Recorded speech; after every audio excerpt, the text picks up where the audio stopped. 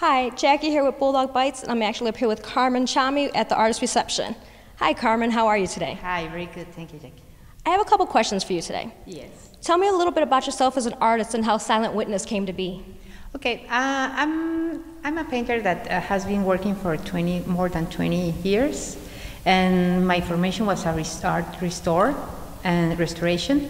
And then I, I studied painting, and I decided since I had uh, nine years old that I will be a painter. So the track was really easy to follow because I was really cl- clear with that.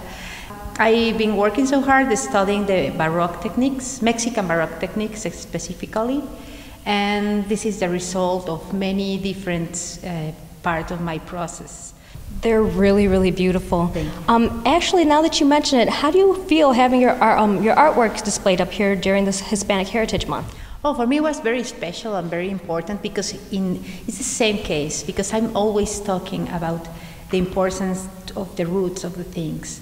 So if you see in there, eh, I just had an art talk and I was talking about that the importance to mix your ideas and your your origins to the painting, no matter your all, all the the influences you have. This might be hard, but can you pick one of your favorite pieces here and give us a little background about it and how you collected the emotion into the painting? Yes, for me the most important, well, no, it's not the most important, it's very important, is change, is over there. And it's a self-portrait, and what I did is uh, to write all the fears and all the things that it was my concerns in the fabric of the painting. So for me, it's like a ritual to take it out and, and be myself, to speak with my own language in the painting. That was actually one of my favorite pieces too, and thank you again for having the time to do an interview with me. Oh, thank you, Jackie.